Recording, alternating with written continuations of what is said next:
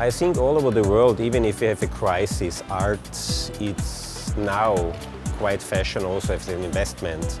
So I think demand on contemporary and also conservative classical art will be high in the next years since the region, Southern Asia, Southeast Asia, it's just booming the last five to ten years. It's for us quite exciting to be here second time.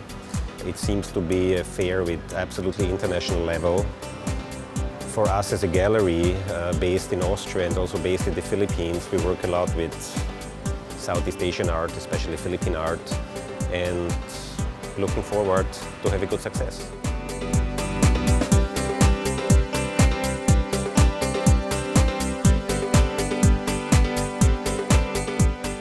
Vue Privé is only two years old and uh, we're very, very excited to not only be part of Art Stage, our first international fair, and but also having the Gao brothers with us.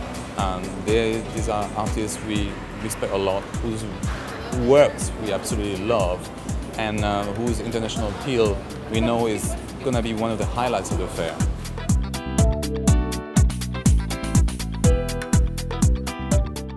Contemporary art must have a strong contradiction in terms of the ordinary and non-ordinary kind of things. And I think ArtStage will become a very strong platform in Asia because uh, I think in Asia, in contemporary art uh, kind of art scene, people always think about the investment value when you purchase uh, something. It's interesting because this is quite new to Asia, yeah, in terms of being collector, buying art, you know. For me as an artist, uh, it's not only about that. It's also about to educate uh, the visitor.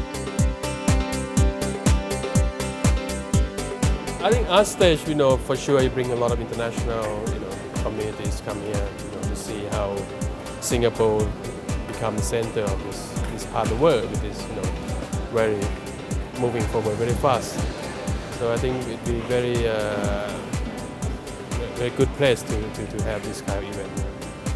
Which is include artists, you know, collectors, curators, Singapore, to South Asia, and to South Asia, India, Pakistan, you know, for China too. But it's to show how the dynamic of Asia art today. You can see a lot of activities, a lot of artists, uh, you know, creating dialogue between each other.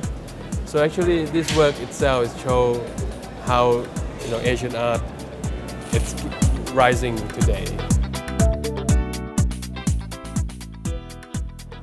因为我们已经在世界各地做过不少展览了，呃，因为这次奥利维亚这次来邀请我们来参加这个新加坡这个展览，嗯，我们非常高兴，因为我们觉得新加坡也是我们第一次来。我觉得中国近五年的这种当代艺术中最重要的变化，就是更多的艺术家像艾薇薇一样，嗯，关注一些社会。方面的话题，然后使艺术和这种社会的这种进程有一种关系，我觉得这是最重要的一个点。